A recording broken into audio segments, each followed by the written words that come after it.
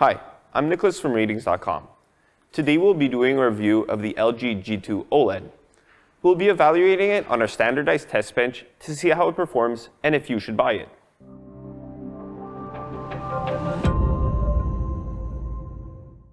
We bought and tested the 65-inch model, and we expect the other sizes to perform similarly.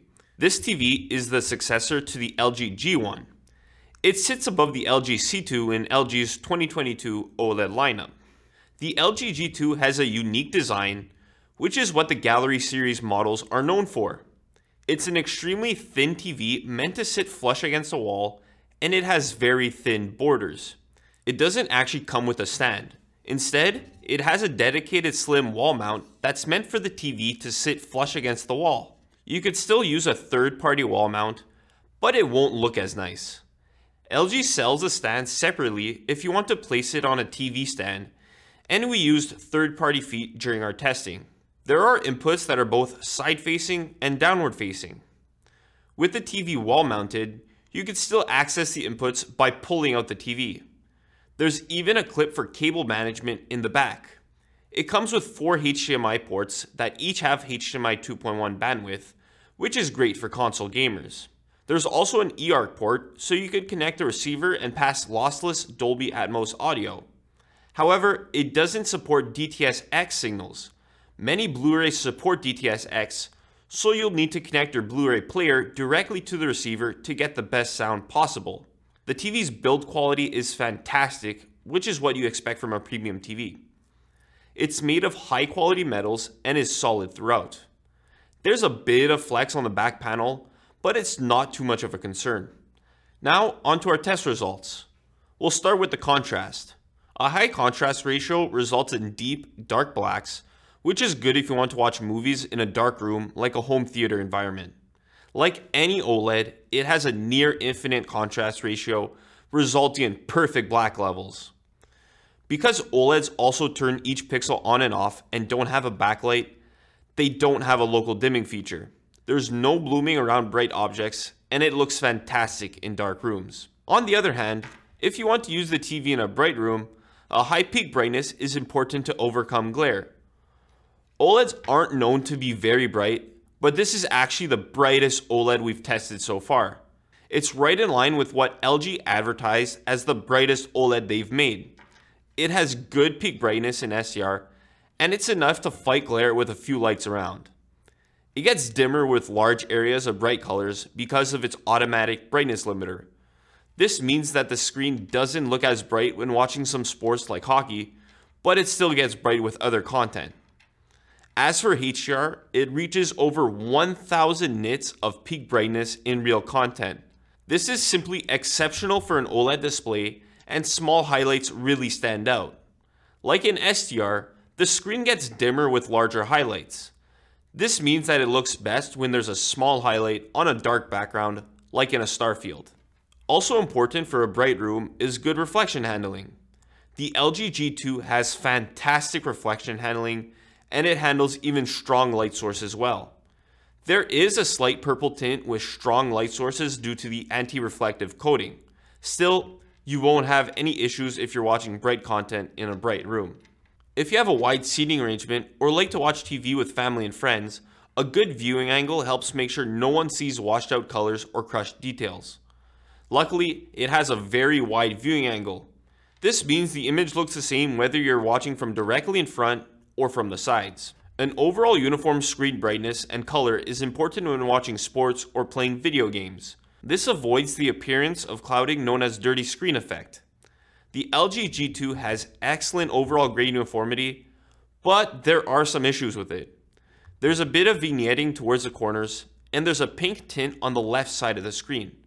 This seems to be a common issue with LG's new OLED panels, so it's not a defect to our unit.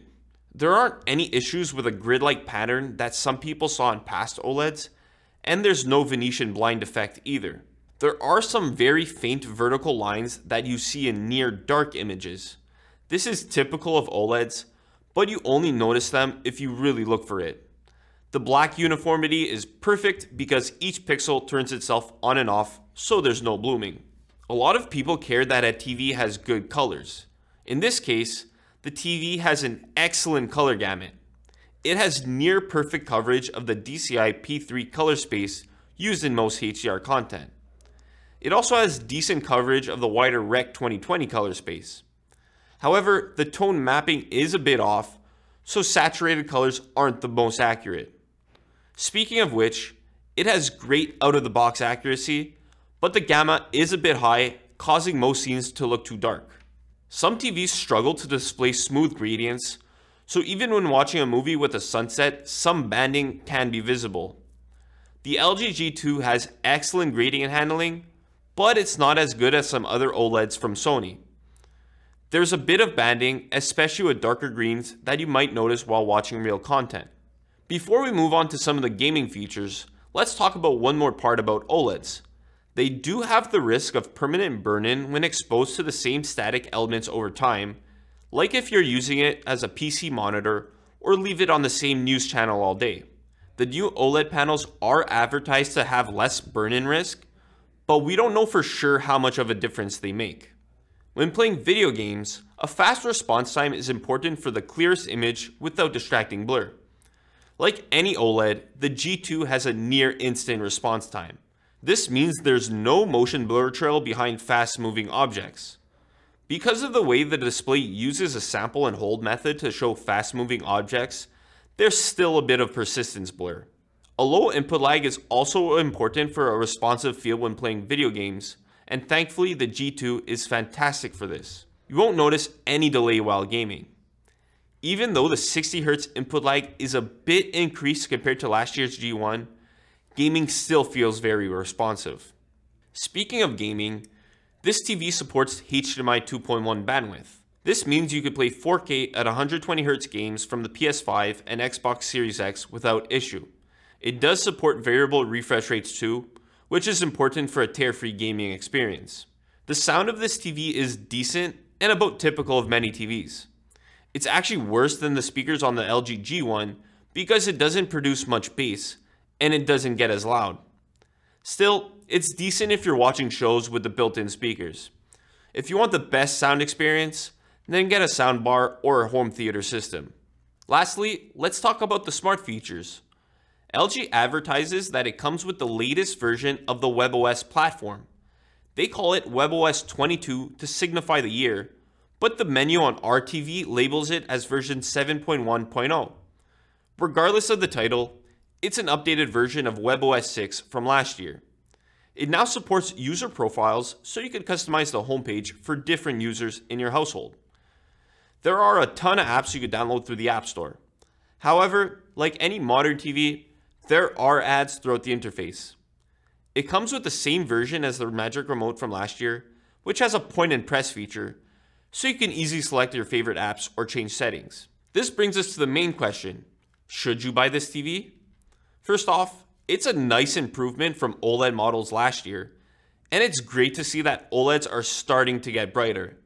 If you're deciding whether to buy the G1 or G2, this one is definitely the better performing TV and HDR content looks incredible. Even if you're comparing it to the Sony A90J OLED from last year, highlights pop more on the G2. However, its gradient handling still isn't as good, so there's a bit of banding. Unfortunately, this is an expensive TV and it doesn't come with a stand. The LG C2 costs even less, has a stand, and delivers nearly the same picture quality with good peak brightness in SDR and HDR. The TVs are very similar overall, and you should only get the G2 over the C2 if you want to use the dedicated wall mount to make it sit flush against the wall.